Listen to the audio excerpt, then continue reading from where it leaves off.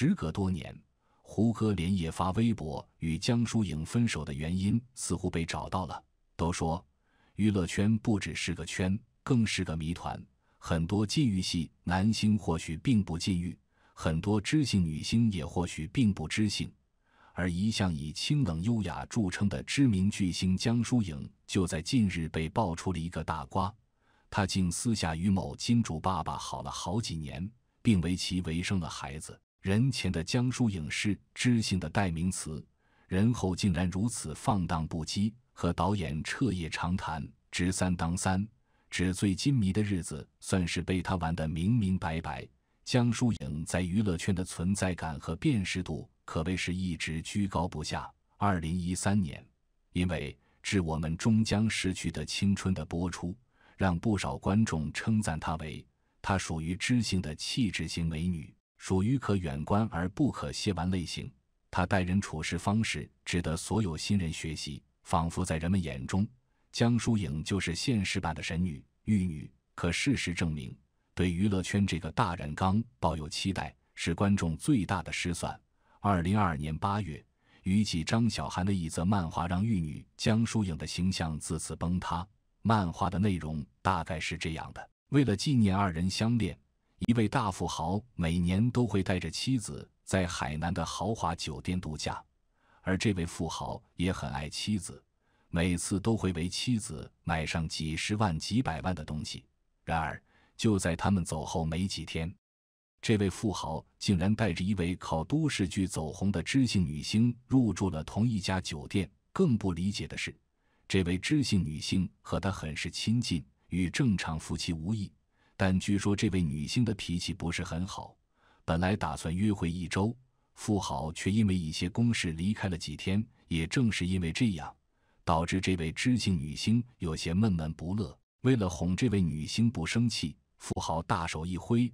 给她送了不少价值千万的珠宝首饰。看着富豪如此诚恳，这位女星一改之前的态度，不仅贴心的照顾富豪的日常起居，还一脸的贤惠温柔，用一对人人羡慕的狗男女形容都不为过。可比起这些，网友们反而更关注这是哪个知性女星，竟然能绑上这么大款。虽说爆料人没有明确指出知性女星和富豪的身份。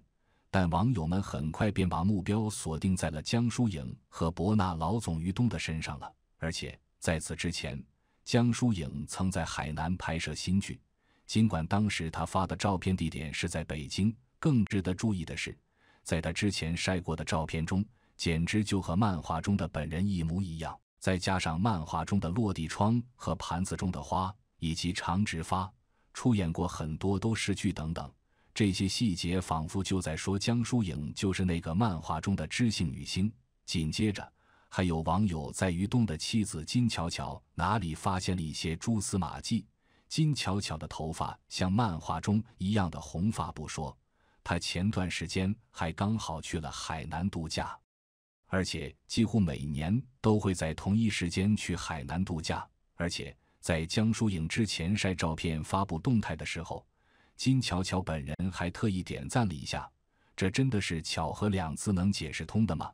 根据这一线索，广大神通的网友还扒出，早在之前，于东就投资过江疏影出演的第一部女主电影《大宅男》。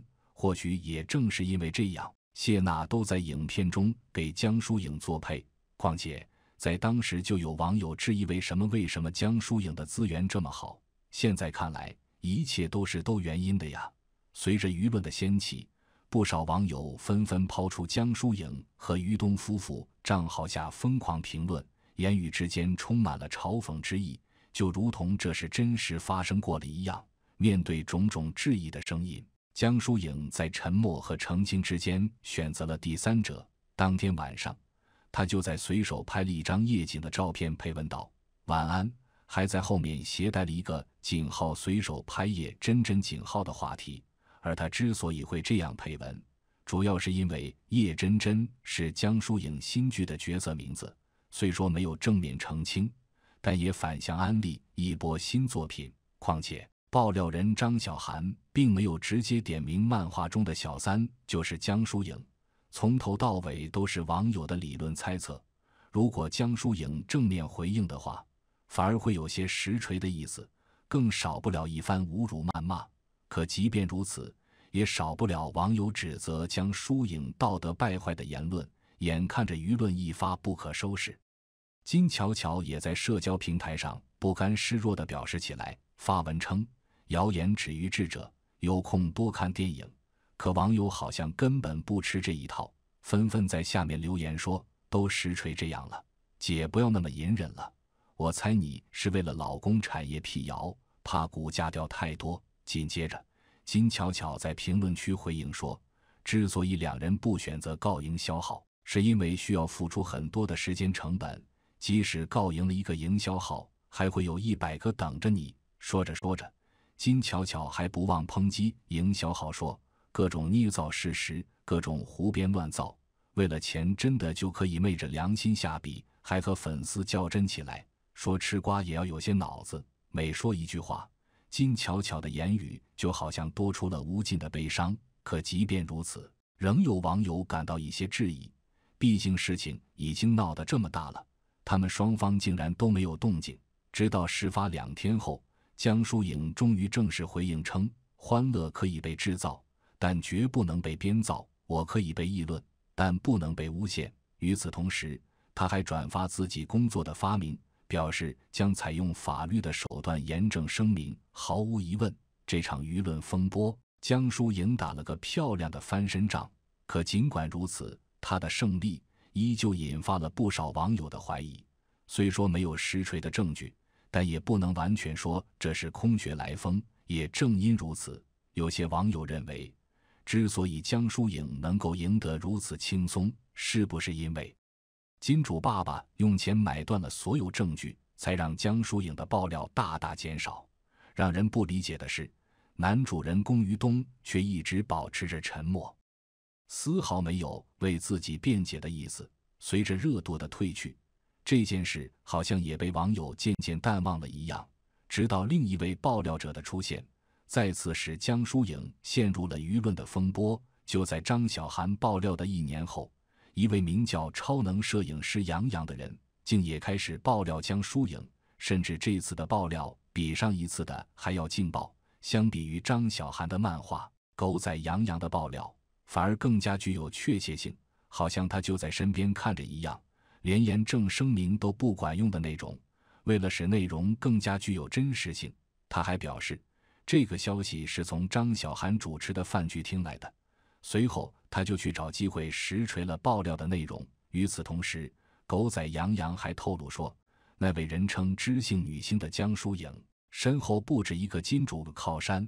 更让人不可思议的是。他言之凿凿地说：“江疏影曾经跟某位年近六十的富豪生过孩子，就因为这件事，江疏影还跟富豪家的太子爷闹得很不愉快。为了增加事情的可信度，狗仔杨洋还不忘补刀说：‘你们想想吧，一个什么背景都没有的女星，凭什么能在这个娱乐圈发展的蒸蒸日上？’事实也的确如此。虽说娱乐圈的门槛低。”有些不入流人都挤破脑袋的想要进去，但要是没有背景的来源，恐怕没个几十年很难走进观众的眼中。作为一名知名演员，江疏影自出道以来就备受争议，而且与其他人不同的是，比起那些苦苦怕龙套的小演员，江疏影刚进入演艺圈就拿到了最好的资源，更何况还是在导演说她长得有些老的情况下拿到的。这也不禁让人怀疑，他的背后是不是有着某位金主爸爸的支持？再加上他平平无奇的出身背景，很难解释他的发展为何会如此的一帆风顺。也正是因为这样，在江疏影的事业刚刚有起色的时候，他就被人爆出和娱乐知名制片人孙东海有着不可分割的联系。据悉，江疏影的第一部戏就是孙东海大力推荐的，还有就是。江疏影在出演《致我们终将逝去的青春》时，因为演技的不熟练，导致他经常犯错，拖了拍摄的后腿。正是因为这样，副导演可没少为此生气。处于无奈下，江疏影只好厚着脸皮，不断地向副导演请教。结果就是，经过彻夜的探讨之后，副导演再也没为难过江疏影一次，影片播出后，江疏影也走向了爆火之路。后来，他又在拍戏的过程中结识了胡歌，两人因戏生情，把感情之事也带到了现实之中。面对网上的爆出的照片，胡歌也是大大方方承认两人的恋情。可让人没想到的是，恋情刚曝光没几天就草草结束。为此，胡歌还曾发文称：“我想说，我爱过，我爱那个回忆，我爱我所认识的他，我已经知足了。梦醒时分，遥望江湖。对不起，让大家失望了。”按理说，经历过这次风波之后，网友们猜测江疏影的饰演额很有可能会受到严重打击。可事实并非如此，她的事业反而持续的上升。难道江疏影的背后真的还有比胡歌还要大的靠山吗？带着这个疑问，有网友还真扒出来不少信息。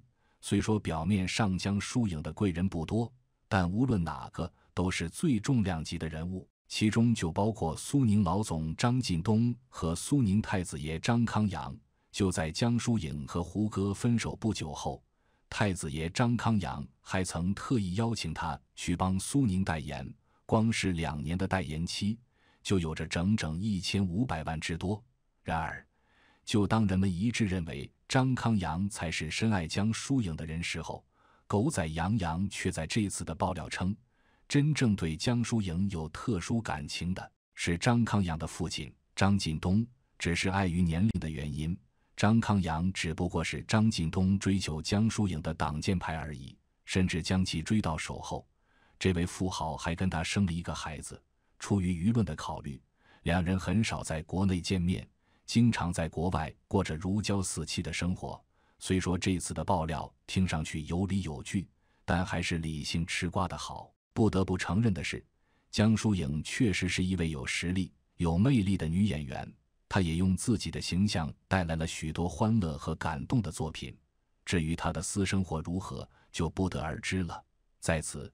也只能希望江疏影能够在日后带来更多的好作品。